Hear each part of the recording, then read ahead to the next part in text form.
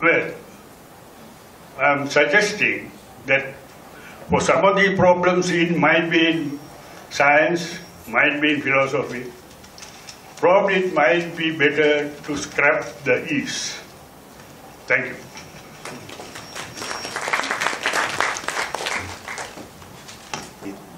Ethics in quantum physics, and I think in nature, is, is seen from an informational point of view. There's this uh, aspect of entropy. And uh, entropy is basically a, a, a measurement of disorder. So the typical example is a teenager's room, this high entropy. And this is taken law that it says that this entropy can never fall. It keeps growing bigger and bigger and bigger. So uh, let's say, for example, the, in a common example, you have a, a, glass of water and then you put in an ice clump. The water molecule is in an ice clump is very ordered. It sits in a, in a, in a special a crystal. So the distance between the water molecules in the ice form is very ordered. So it's low entropy. Then you put down into the water and then it, it melts. Uh, before it melts, then there is a large difference, disharmony, you can say, between the water that is in solution and the water that is in the crystal form. The water in solution, they have all kinds of distances. They're moving around rapidly. And if they come up into the gas phase, they will have even more uh, movement around and will be more different. While the molecules in the crystal are fixed with certain lengths. So while it's not melted, there's a large difference, disharmony, disequilibrium between the water in solution and the water in the crystal. Then the crystal melts and uh, it forms into, goes into equilibrium with the rest of the water. The temperature is uniform in the entire glass. Before the temperature was low in the crystal, the, in the ice and high in the water. Now the temperature has leveled out so there's a state, after the melting process, there's a state of harmony or state of equilibrium in this glass. What then, now we take another fundamental, probably more fundamental entity of the description of reality, information. We, instead of, we take out this, we have this, still the system, and then we take out uh, the water molecules and then put in bits of information. In such a system, you can also have harmony, and you can have disharmony harmony is ethics. Harmony in a system where there's information made out of information is uh, physical, basic, foundational formulation of ethics. It has nothing to do with man or the Buddha or God, or it's not something that we can change. Uh, it's not it's not relative in time and space. If you kill a, a, another person, in a thousand universes from now on, then the karmic retribution will be the same as it is now. And if you kill it in another universe, it will be the same. So it's apparently a law. It's something that is, is, is has to be respected because it's not, it's not a cultural phenomenon, basically. It's a natural phenomenon. And uh, as I see it, it's basically, ethics is basically harmony in a system, or equilibrium, or balance is a system based on information. If, for taking a practical example, let's say you have a person on your workplace, and there's a one person, he's a notorious liar. There's a lot of persons, they speak the truth, no problem, everybody is peaceful. And then you introduce, you drop one liar there. Then this creates a lot of disharmony in this uh, social work sphere. This disharmony, you can say from a moral point of view, is because of his lying. But you can say that disharmony from an informational point of view is because he's not speaking the truth. He's speaking about states, he says it's like A, then it's like B. Uh, so he's, he's speaking of something that goes against nature, so to speak. And therefore the retribution, uh, which is not a, form of revenge, but just a, a nature's probabilistic response on single individuals, not conforming to the truth, not being in harmony with the truth, being in disequilibrium, a far from equilibrium state. And this, you can say, I will also now take this, uh, the equilibrium state energetically for this one is will be on the table or even on the floor or in the ultimate sense at the center of the planet Earth. Now I'll take it away from equilibrium. As soon as I release it, then it, it sinks back to equilibrium. And the same thing with the ice in the, in the water. uh, it also goes back to equilibrium by nature. And so also we as information processing units, we also will go back to equilibrium, whether we like it or not. So the liar will become a truthful person? Eventually he will. Okay, we'll take the next question. Ah, yeah, yeah, please. Speak to this. Uh,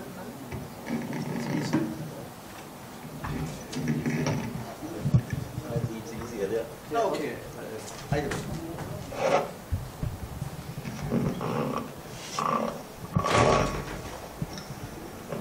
I just cannot understand why we are so obsessed with quantum mechanics. It just shows how far away we all of us are from Nibbana.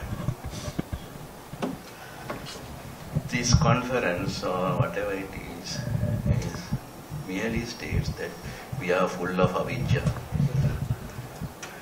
It's just avijja, nothing else, right? And we talk of, I mean, I gave my lecture on quantum ontologies just to mention that all these ontologies are relevant to or relative to the observers. There is no objective or whatever what uh, Professor Gunaratna called is or real or whatever, independent of the observer. And what I am what I just said was that there are five ontologies, at least in quantum, and uh, at least three ontologies in classical. So anybody who had listened to me carefully would have come to understand that there is no ontology as such. In fact, I changed my topic to ontologies just to say that there is no ontology as such, there is no existence as such independent of the observer. And well, I, I did my some research work in quantum and relativity. But I know that neither relativity nor quantum mechanics is the truth. And whenever somebody gets up and say, try to explain Buddhism in terms of quantum mechanics or science, I just, even in my old age, my pressure goes up. I must say that.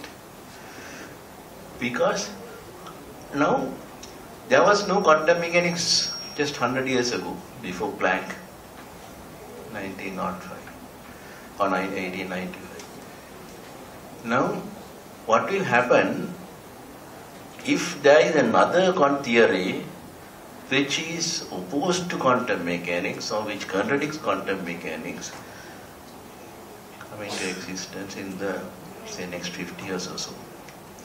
Those of us who compared Buddhism with quantum mechanics, if we were fortunate or unfortunate to live another 50 years, we'll have to eat our own words. Because another, if another theory replaces quantum mechanics and we now try to justify Buddhism in terms of quantum mechanics and if quantum mechanics is displaced, what is going to happen to Buddhism? Buddhism will also be displaced. Whether Theravada or Mahayana or Hinayana or Vajra or whatever it is, Shunyata or anything. Please, I don't agree with these comparisons. And uh, I would have loved to speak on this topic another hour, but I know time permits and uh, I will not be allowed to do so. All I have to say is that we have our own ethics based on, well, I mean, I'm a Buddhist, right? My Buddhism may be not quite correct, but uh, I don't uh, misquote Buddhism and I do not try to fit Buddhism into my way of living. I try to live according to Buddhism and not try to interpret Buddhism according to my living. But I think that all these are avijja. Avijja pacha sankara.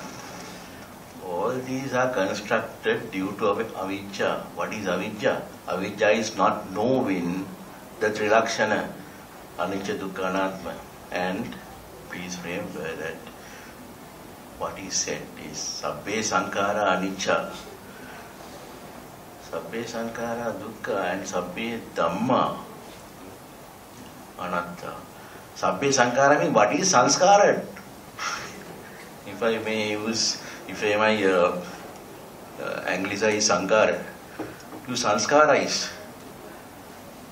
And because uh, it's very difficult to translate sanskara into English, so let's use that same word. You sanskarize due to. And what is sanskarized is anicca. What is sanskarized is dukkha. Not what is, not what is, what exists is dukkha, what exists is anicca. What is sanskarized and what exists, nobody knows. We don't want to talk about what exists, the existence. They are all relative, relative to the observers. And the observers who are being nourished by avijja. They are all avijja. And if we can realize that it is all avijja, sooner or later, then we would attain Nibbana. And that's my view. And Sabbe Dhamma Anatta means there is something which is not sanskara and that's Nibbana. Nibbana is also Anatta. I think I, I leave my case there. And I suppose uh, however much we talk, we are not going to attain Nibbana in a minute or in half an hour. So, so better not compare Buddhism with any science, whether quantum or Newtonian or thermodynamics or anything, right? Because the existence, existence not in uh, not in the realistic sense, or but uh, the common sense, the existence of these theories are limited. Please remember, if anything that history or science teaches us is that all these theories are very, very impermanent. And if you try to compare Buddhism with these theories, and if once the theories go out, once the theories are displaced by some other theories, then Buddhism is also displaced. I don't want to be a party to that. We'll take the next question. I, I want to ask, for the- I ask you, is that one of the states that you mentioned, that the photon fields, is it one of the infinite solutions, that just one, that going through the state? Uh, no, no, no. Well, Of course, I mean, I didn't explain that. Uh, now, say this has been discussed long time ago. If you read Mageloge, Mageloge discusses all these things. And in fact, it discusses uh, Aspect's uh, experiment as well. Aspe were referred to by uh, Venerable Samaita. That is being discussed, right? These are old, old question, right? Now, what happen is, what happens is this. Say when an electron is emitted or photon is emitted, particle or wave, wave, wave properties. That will be in various states. Because when you shoot a photon or an electron, its energy is determined.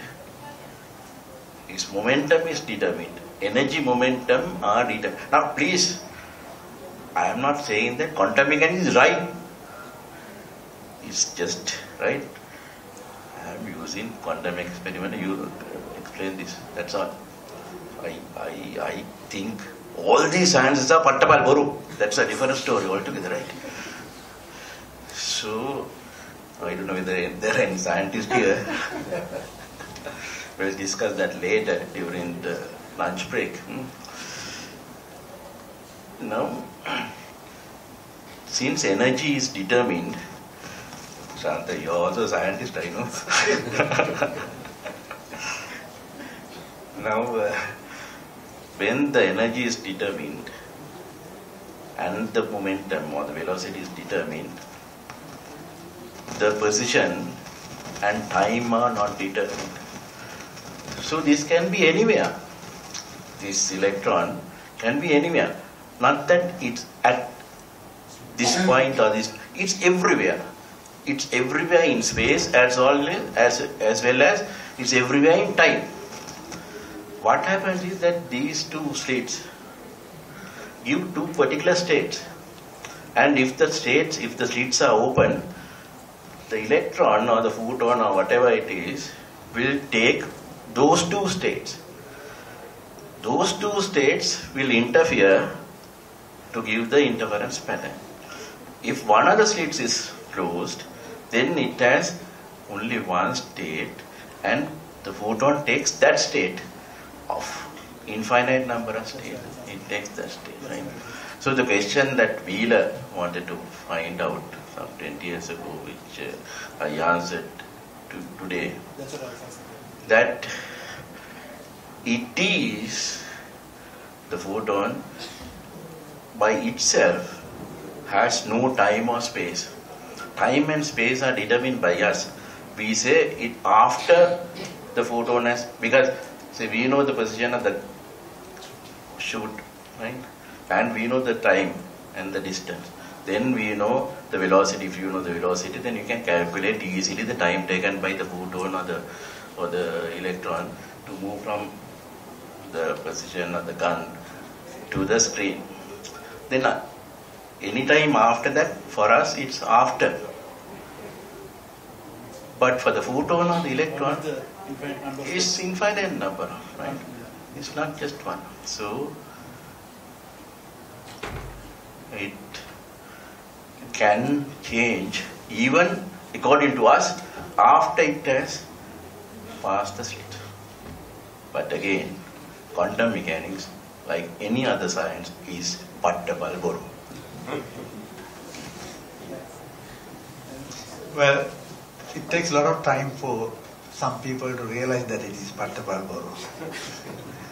um, yes, a question from here. Uh,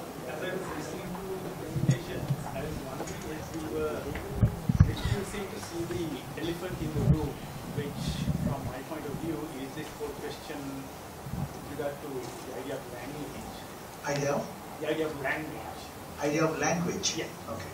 Uh, I, I feel like I feel like you're trying to talk about the reality, which does not really, uh, without necessarily having the capacity to talk about that reality. And I think Professor Nalin de Silva kind of talked about it.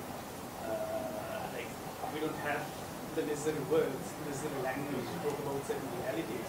So I was wondering how effective this discussion is without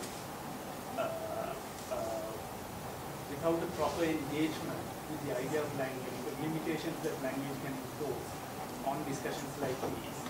And I think one of the difficulties that we have uh, in trying to understand quantum, physics, quantum physics, Buddhism, or existence, or whatever it is, has much to do with uh, the problems that we have with language in general. Can I, just uh, add something what uh, Rama said? That it's a very interesting question. I was just thinking, now like uh, we are in a meaning world. We leave the truth outside like absolute or contemporary or whatever truth outside. We all are in a kind of meaning world. We are giving meanings and getting things done in the world. Then that maybe maybe because of avidya we construct that that all context. But uh, the language, the relationship between the observer and the whatever the constructor is related to the language. So like, uh, how would you respond to that, that functions? Like the language is very, we can't sometimes say something and we don't want to say something. But we have to be in a kind of meaning words, meaning words like we are giving meaning to many things. So I think it relates with the, the discussion. I think uh, Yes, yes. you want No, no, you, Yeah, yeah. Nali, you go first. Yeah, I think uh, that's a good question. Language is essential. only the lovers can communicate without language. I think most of us have that experience in our young ages. Now we are mental, but uh, we don't. Uh, we don't communicate at all now. with or without language, it's a different story. But language is important. Without language, we can't com- we cannot communicate, and uh, we want to express our ideas, right?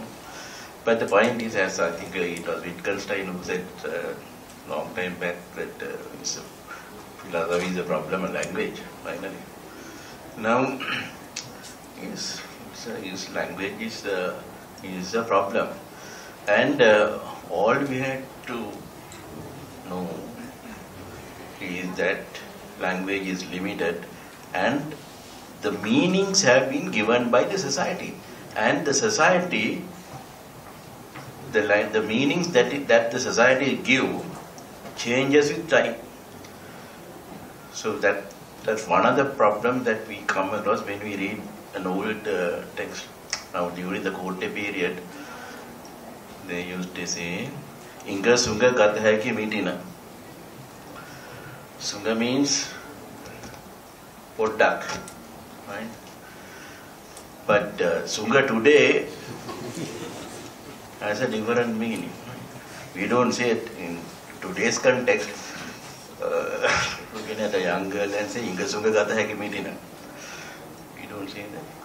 So these are problems in language where you, know, we should know that languages are limited. And we should also know that all these are again lies. Lies in the sense the meanings are given by society and these meanings they are not truth. Their meanings are given by society, and these society they are all relative, and they can change, change, change with time.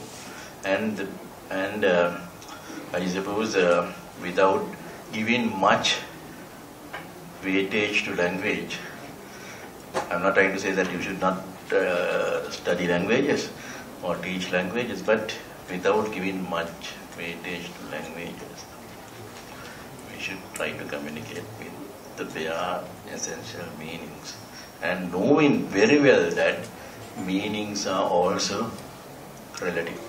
Meanings are also relative. And uh, these, the sense of relativist philosophy and also not only that, not only meanings are relative but meanings are created.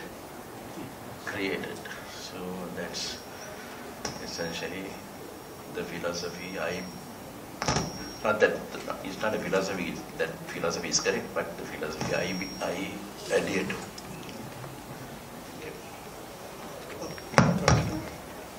Yes, uh, No, about uh, the language. In fact, uh, I, that's why I said better get rid of the word is from the language. Uh, but about the quantum mechanics, uh, that's, uh, that's one of the I mean, first problems that they faced, as far as I mean, going by. The, now, Niels Bohr, the Copenhagen people, they wanted to, I mean, the point is that we live in the, we are part of the classical world. We are big macro optics. We are not quantum, I mean, we are not, I mean, as we, as we are, we are not. So, so that we have to use the macro optic language, the classical language. And that's, uh, that's one of the first principles that uh, the Copenhagenists said, that you cannot get rid of the wave-particle duality, the both characteristics. Those are macro characteristics. But we cannot get rid of them. We have to use them and somehow or other express the quantum situation. That was the, that's a problem, and of course it is a problem. In fact, I just said that uh, David Bohm was trying to say well, we should give up this type of concepts that I use, but of have a real mode. That's what you, tell. But whether it's possible to successfully complete such a project is a, is, I mean, a massive question.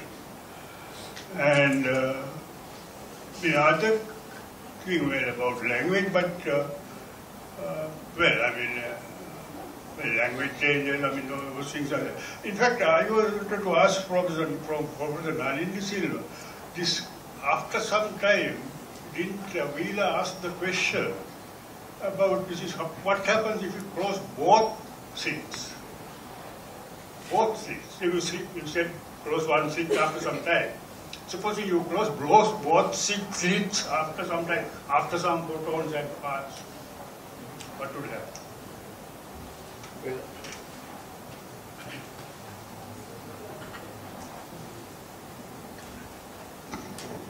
Nobody knows what will happen if both slits are closed. Relative to us, after relative to us, after the photons have passed through the slit. But one thing is known, right? In fact, just three weeks ago, it was reported that they had done an experiment using satellites for this particular idea, that it closing one of the slits. And uh, they have come with the result that even after closing, even uh, even even, uh, even after closing, after the electrons have passed, well, they use satellites and got them reflected. That uh, they behaved like they, they didn't give interference pattern. So that means after and before, as far as photons or photons, they said photons, not electrons. As far as photons are concerned, after and after and before have no meaning to them if energy and momenta are defined. If energy and momenta are defined, because if energy and momenta are defined, then time and space are not defined. That's the, I think that's the complementary uh, in mechanics. The answer to your question, what happens if uh, both the both slits are closed? No experiment has been done so far, but uh, I suppose nothing will happen.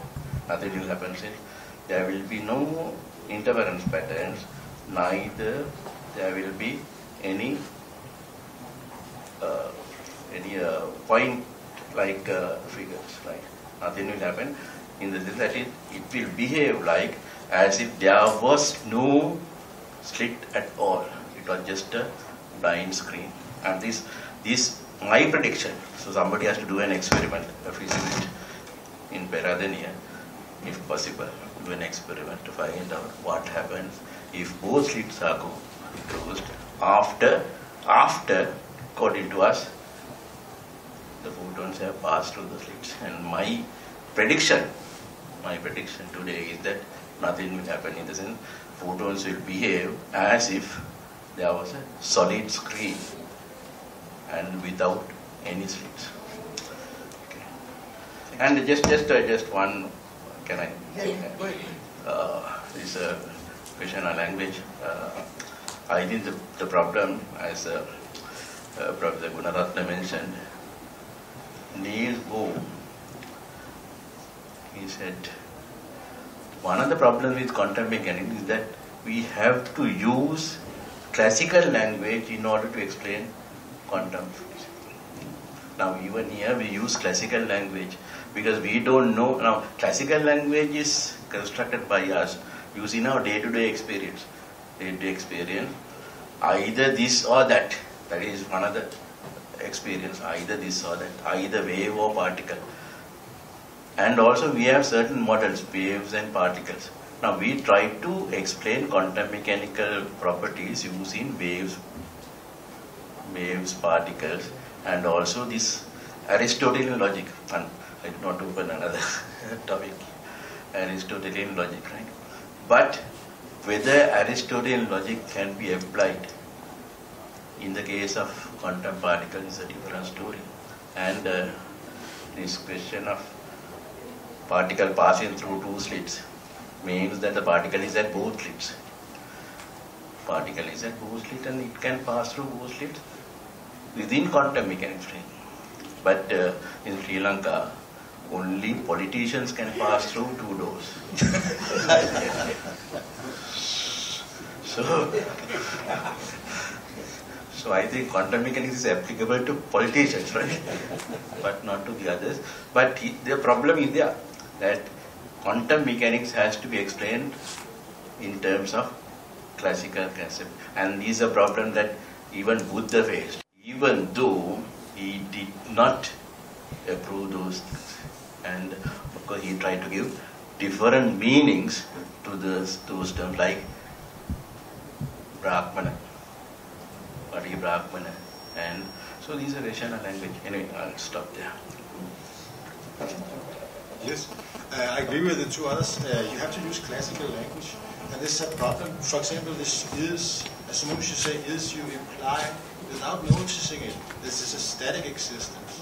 The moment you use the Buddhist language, you say hoti, you say becoming, then you thereby say anything is dynamic, which is more true. However, uh, language is the only thing we got. we do not have any other choice. Huh? Uh, however, we can uh, modify, we can make new concepts. For example, entanglement, understanding that things can be entangled over space and time, and non-locality. So we can exchange new ideas using language. However, language is never perfect. Some modern poets said that language is a, a virus from outer space. And uh, there's some truth to it because it's some alien thing that makes us believe this or that. For example, that static existence when we say is.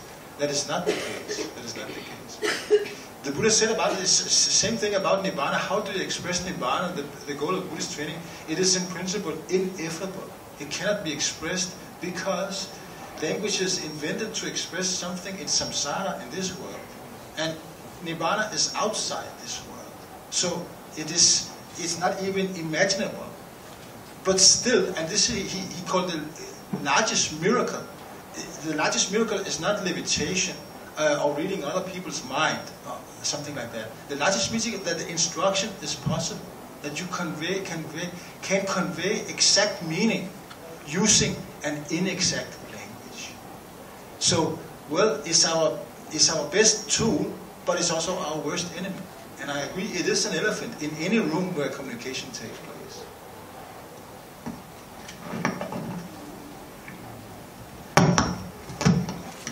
Okay, um, thank you. I think um, we come to more or less to the conclusion of the morning session, paving the foundations for the second session. Now, coming back, or rather continuing on to what this issue of language, let me tell you two things. One is, I think it is Gandhi who said that you can't find a solution in the same language in which the problem was created. Because no matter how hard you try, you will be dwelling in the same problem more and more rather than finding a solution. Look at what is happening to the world. Um, if there are any sociologists around here, um, you would know that uh, the classical sociology, I'm speaking on the languages, try to understand the social change, how the societies change using either Durkheimian, Weberian, or Marxian language. And the sociology has been pathologically suffering from this problem until Anthony Giddens, as a living sociologist, he probably is the the greatest social theorist or philosopher living right now. He exactly said the same thing answering your question, sir, that the, the problem why we cannot understand the society, in that case the world, is uh, the epistemological problem. We are trying to understand a world in where things happen in a language where we uh, use the language in static terms. Classic word is structure. If you at the sociology, the societies expect explained as structures, all the way from Marx, Weber to Marx, uh, sorry, uh, Durkheim, Weber to Marx. And to respond to that, he said the only way to do that is to have, you know, identify the elephant and perhaps change the elephant, chase the elephant out of the room. He did that. He said the only way we can understand modern society is not through the concept of structure, but structuration turning nouns into verbs, saying anicca. Things change all the time. The moment you have nouns, you give a static meaning to that. So change things into this, uh, you know, process. Rather than talking about social structure, teach the structuration. structuration is the process of becoming or making and unmaking structures on, on the split seconds that he was trying to tell us. Anyway, so maybe that is a good uh, point to end our discussion about this larger ontology versus epistemology into the more into the social level. Oh yeah, absolutely yes. So maybe the last word is No, no, I- oh, Nalin. Go ahead. You want to use this? I think it's.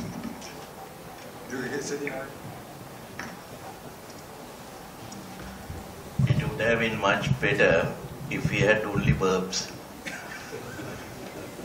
but it's, So, unfortunately we have we have nouns and Sinhala language, I don't know about Tamil, but uh, it's, it's quite close to Sinhala. But uh, Sinhala language emphasizes verbs much more than the nouns. And just to give an example, we can express certain things without nouns. We can say Vahinama. No, no noun in that. Vahinama. It's just a verb. But in English, you cannot say Vahinama. You have to say, it is raining. It is raining. Oh, Vahinama. Okay.